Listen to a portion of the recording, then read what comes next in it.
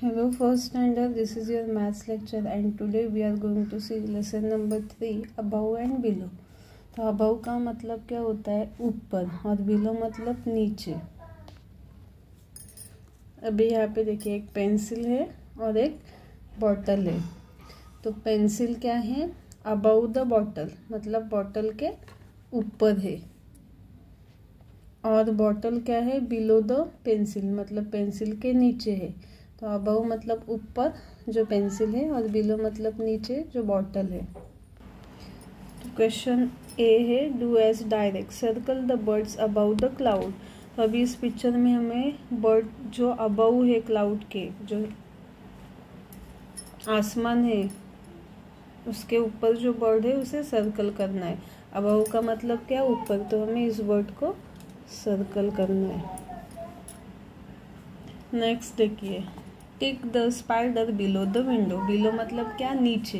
तो विंडो के जो नीचे स्पाइडर है उसे हमें टिक करना है। इस तरह। सी क्या है? Draw a butterfly above the flower flower के ऊपर. अबाउ मतलब ऊपर. बटरफ्लाई हमें ड्रॉ करना है। नेक्स्ट क्या है? देखो D D draw a circle below the line below मतलब नीचे तो लाइन के नीचे हमें एक सर्कल ड्रॉ करना है। इस तरह। ई e क्या है? Circle the object above the moon तो मून के अबाउ मतलब ऊपर जो ऑब्जेक्ट है, उसे हमें सर्कल करना है। तो मून के ऊपर क्या है? स्टार है। तो इस स्टार को हमें सर्कल करना है। और बिलो क्या है? क्लाउड है। नेक्स्ट पिक्चर में देखिए। Tick the animal below the tree.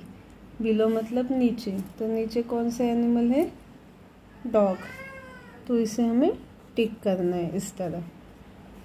तो आपको समझ में आया? अबाउ क्या होता है और बिलो क्या होता है? अबाउ मतलब ऊपर, बिलो मतलब नीचे। अगर आपको कुछ भी डाउट है तो आप कमेंट कर सकते हैं। और वीडियो को लाइक और शेयर करना मत भूलिए। Thank you.